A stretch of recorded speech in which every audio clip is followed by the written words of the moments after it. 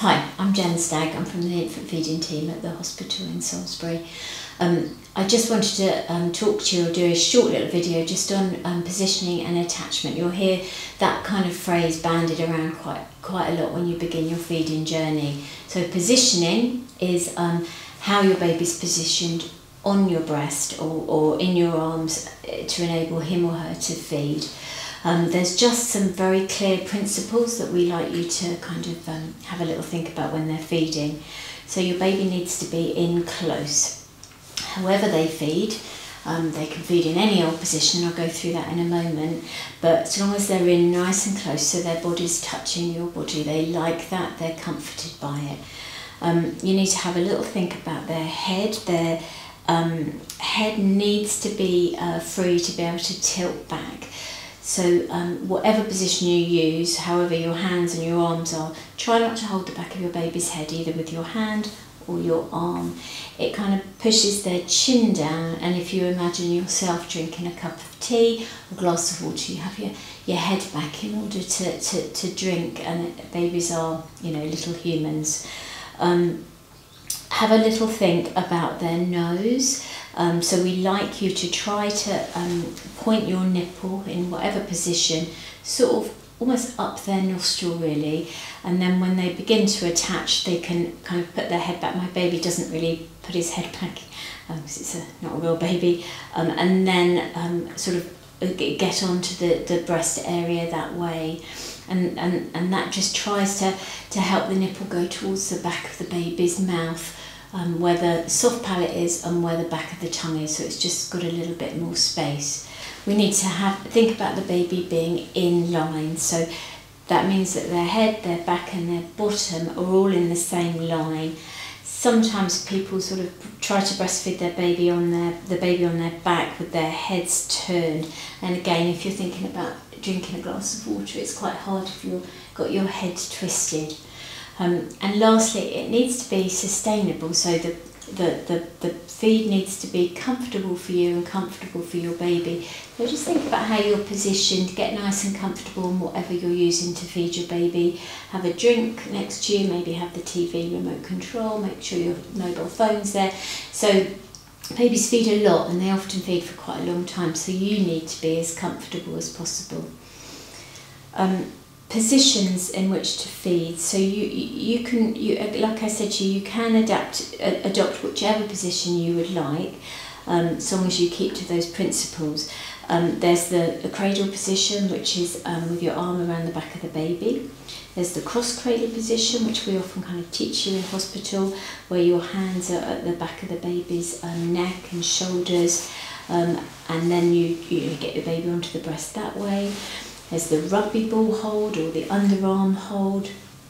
Um, and then there's our particular favourite in the infant feeding team, the sort of more biological, nurturing, nursing technique where you just lean yourself back and sort of allow the baby to bounce around and find the breast on his or her own. And they, they will find it if they're given the opportunity to.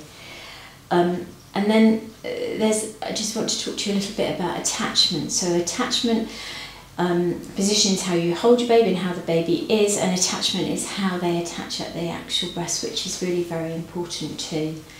Um, they need to have a nice big open mouth. Um, imagine that they they've taken a bite of an apple, so they've got nice full rounded cheeks. Um, they need to have their nose clear, so just um, their nose clear and their chin indenting the breast here. They often use their bottom jaw to really milk the, the breast, so the chin needs to be touching the breast and the nose is nice and clear. We talk about an asymmetrical attachment, which is a bit complicated, but it just basically means that more of the baby's mouth is on the underside of the breast and um, so there's more areola visible above the top lip than below.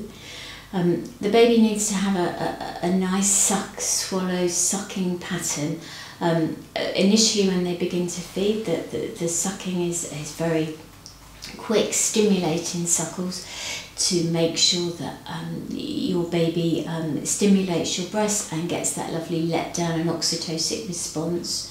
Um, as the milk begins to flow from the, ba- the breast into the baby, the sucks become a little bit slower and deeper, and you'll hear milk being swallowed.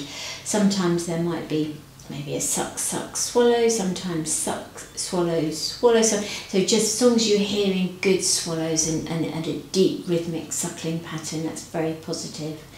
And at the end of the feed, you'll you'll see that the, the suckles will become a little bit more like flutters. And that's really the baby just beginning to, to, to end the feed in a nice um, kind of sleepy way almost. And that's all very very positive. Um, pain, um, often mums are told that if it hurts, it's wrong, but in our experience, breastfeeding um, it is painful initially. It, it shouldn't um, be a horrid, horrid pain that goes throughout the feed, but if you are getting um, some pain at the, the very beginning of the feed, we sometimes say it might just hurt for 20 seconds maybe and then it gets nice and um, pain free that's great. That initial pain won't last for very long. Gradually gradually you won't be able to feel when your baby's feeding. If it goes on throughout the feed then please seek some help and we'll be able to adjust positioning or, or, or maybe just guide you with something that you might not have seen yourself.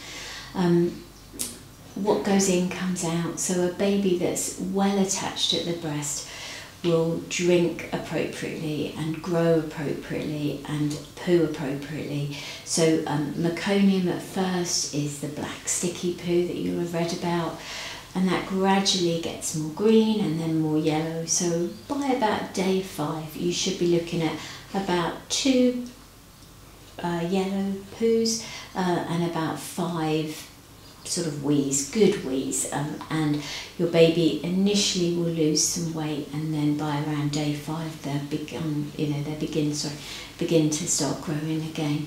Any concerns? Talk to your community midwife, health visitor, or ring us.